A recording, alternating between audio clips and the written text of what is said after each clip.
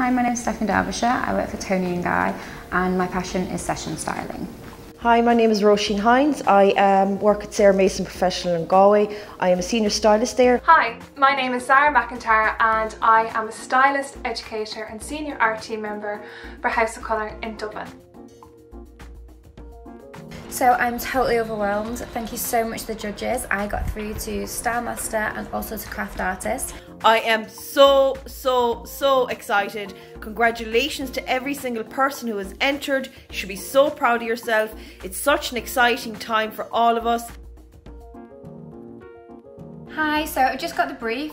I think it's going to be a real challenge. It's like when we had to present in front of judges in previous years. I think that the task Wella has given us is actually quite exciting if we progress in TrendVision.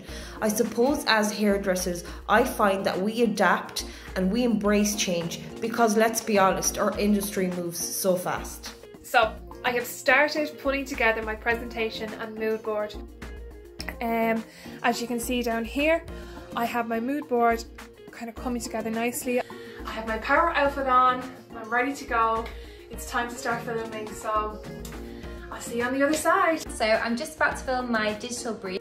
I myself am so excited for the next part of this journey. I hope to see you all at the grand final. I'm through. I'm so excited. Thank you so much. I'm so excited. I just found out this morning that I have made it through to the final. I um, made it through in the colour specialist category. I am super excited, a little bit nervous, but that's to be expected. I'm so excited. Thank you so much to all the judges that voted for me and thank you so much for following my journey so far.